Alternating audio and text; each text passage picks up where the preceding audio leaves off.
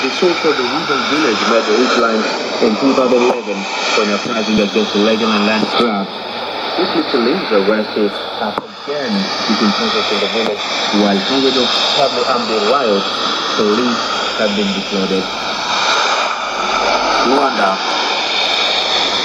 In the gloomy and shaded gardens of the Americo Boavida Hospital in Angola's capital, Luanda, women and houses seeking their breast work particularly for three wasting hours to begin. It is one of the biggest hospitals in the city, serving almost 2 million people.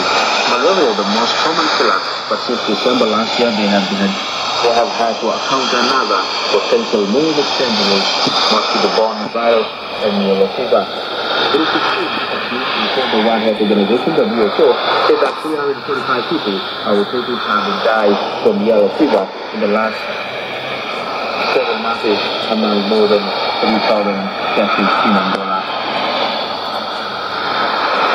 Bogota.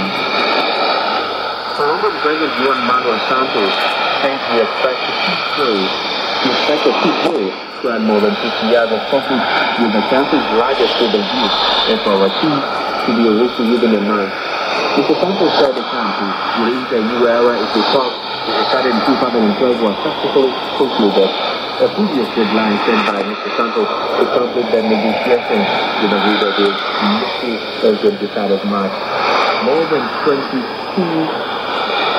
more than 450,000 people have died in five of the armed conflict. The peace negotiations between the Colombian government